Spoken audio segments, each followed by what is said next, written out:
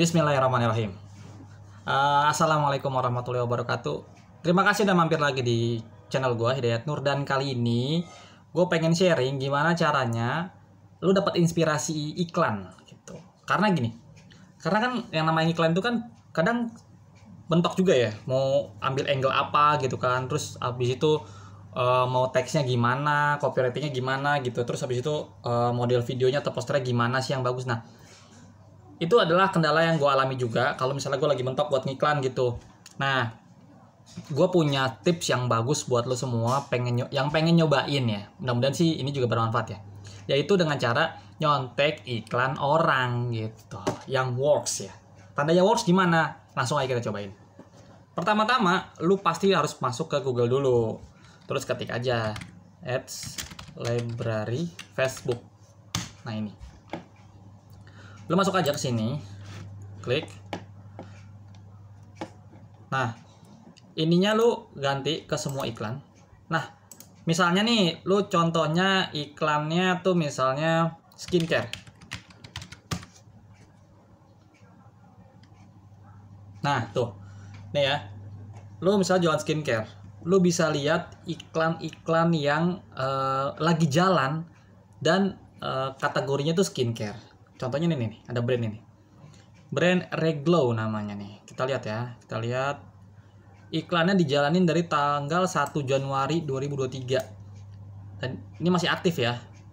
Terus sekarang tanggal tanggal 9 nih gue ngerekam ini tanggal 9 berarti udah 9 hari dia jalan dan uh, ya nggak mungkin gue nggak tahu ini bagus apa enggak karena ini baru seminggu. Kan biasanya kalau ngetes iklan kan sepekan ya. Ada juga yang memang tiga hari tapi menurut gue kalau yang orangnya patokannya tiga hari ikan jelek atau bagus dan ini udah sepekan jalan berarti ini bagus. Nah ini kontennya bisa kita tiru skincare nih glowing. So, skincare glowing andalan apa? Pokoknya. Lo bisa uh, tiru banyak ide di sini gitu. Misalnya lo punya apa lagi ya? Misalnya lo jualan nikah tuh banyak tuh. Contoh-contoh poster contoh-contoh copywriting ini di, di tanggal tanggal berapa ya kita cari madu misalnya. Ada nggak ya madu?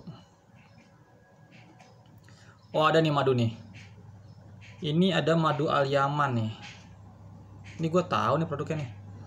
Nih ini madu gini cara ngiklannya gitu. Ini kalau ngiklan dari tanggal baru 5 Januari nih. Nah ini konten-kontennya bisa lo tiru-tiruin atau bahkan lo download. Kalau emang produknya sama misalnya produknya sama nih uh, apa namanya? Misal blender blender ya blender. Blender. Ya kan? Ada tuh yang di shopee tuh yang blender blender hand blender itu ya? Kan banyak tuh yang iklan iklanin nah lu bisa ambil itu tuh. Misalnya nih nah ini hand blend nih hand blend nih.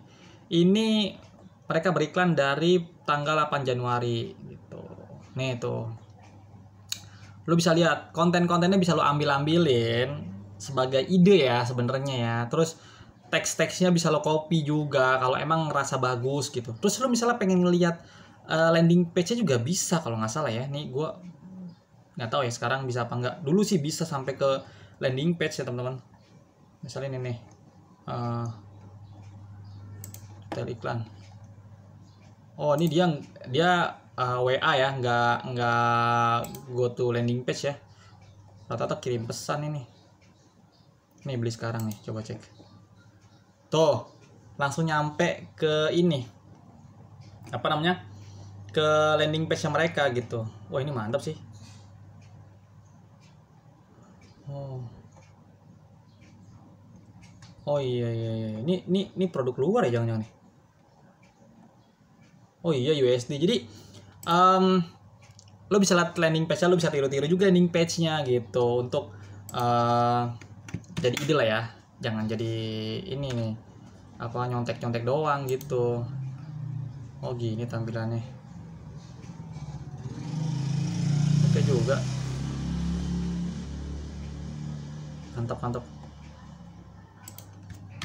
itu ya sebenarnya uh, tips buat lo ngecek atau um, nyari ide terkait iklan konten dari mulai video foto poster uh, sampai ke copywritingnya bisa lo tiru gitu kalau misalnya lo punya produk yang sama maka sama rival lo juga bisa lo ambil sebenarnya cuman kan ini soal etika ya lagi-lagi um, ini cara simpel yang bisa gua kasih ke lo untuk lo yang masih baru mau terjun di dunia Facebook Ads.